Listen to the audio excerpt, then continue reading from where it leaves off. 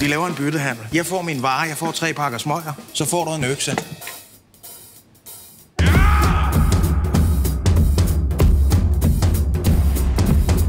Har, har I fundet ham? Ikke ennå.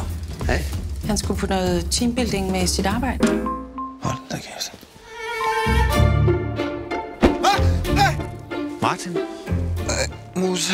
er det her din første store vandretur? Nå, ja.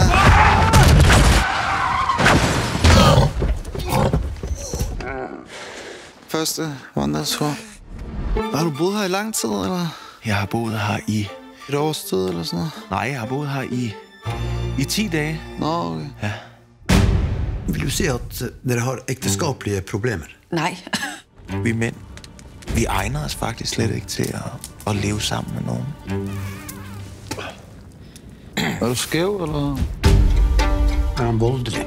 Nej. Der er ikke noget mystisk ved Martin.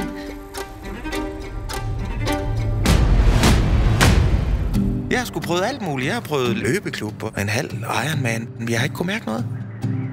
Her kan jeg mærke noget. Den kraften som du har i øynene dine, det er helt unikt. Hvad laver han? Slip ham! Sænk byer! Hold kæft! Hvad er det for noget tøj, han? Enten så er han blitt sinnssyk, eller så er han også en del av en ring av internasjonale narkosmuglere. På med gummistøvlene, inn og lete etter det.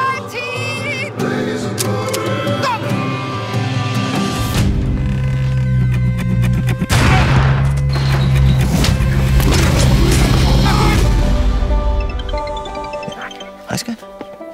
Ved du, ved du jeg, jeg sidder lige i møde lige nu.